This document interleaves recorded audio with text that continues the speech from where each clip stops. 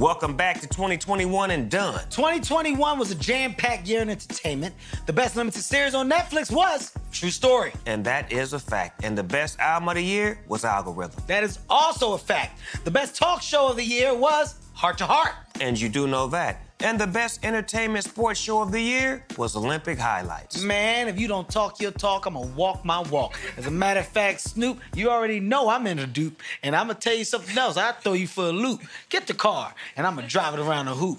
Who wanna get with me? They better ask 2003 because I now know I'm where I'm supposed to be, mm. wrapping up the charts and being the water.